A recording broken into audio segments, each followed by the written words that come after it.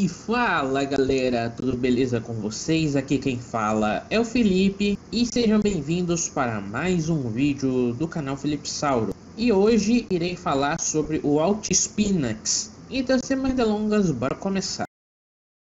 Lembrando que esse nome é um pouco difícil de ser falado e também eu vou ter que usar, infelizmente, termos técnicos para você entender melhor que tipo de dinossauro era. Então preste muita atenção no decorrer do vídeo. Existe um dinossauro chamado de Altispinax, sendo que seu nome completo é Altispinax dunkeri.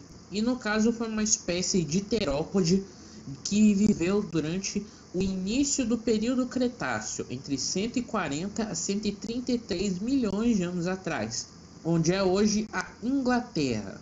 Seus fósseis já são velhos conhecidos da paleontologia, sendo que ele foi descoberto pela primeira vez entre 1923. Inicialmente era para ele ser chamado de Megalossauro, daí o nome ficaria Megalosaurus dunkeri só que depois foi passado para Acrocanthosaurus altispinax.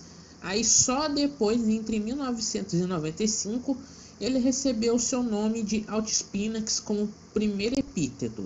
Ele tem esse nome que quer dizer com espinhas altas, porque era bem possível que ele tinha umas protuberâncias bem esquisitas nas costas, sendo que a mais estranha era perto das coxas, onde formava uma espécie de corcova no corpo do animal.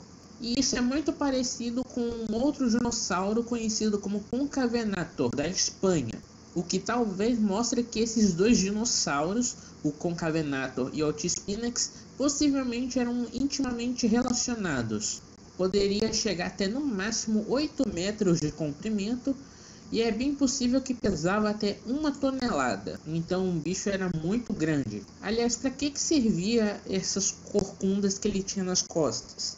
Não sabemos atualmente, porém tem teorias que mostram que ele usava isso para exibição sexual, como as penas de um pavão. Inicialmente, ele foi classificado como um Streptospondylídeo, até que ele entrou dentro da família Streptospondyllidae só que depois foi classificado como um alossauroide em 2003. E até hoje ele é classificado como um tetanorai não identificado. Na verdade, esse nome Altispinax como um nome incertai, ou seja, é incerto saber se esse dinossauro existiu. E infelizmente dependemos de mais estudos e mais informações a respeito desse dinossauro. Então é isso, galera. Se gostaram, deixe seu like. Se não gostaram, deixe seu dislike, tanto faz. E fale o que achou do vídeo aqui embaixo nos comentários. Se não gostou, deixe o seu comentário explicando o que, que eu posso melhorar, beleza? Aproveita também se inscreva no canal e também se inscreva, galera, no meu outro canal, Felipe Sauro Turbo. Já tem vídeos lá, upados, que eu já fiz muito assunto legal. Então, se você tiver interesse, o link está aqui na descrição do vídeo, beleza? Então é isso, um grande abraço e até a próxima. Tchau, gente!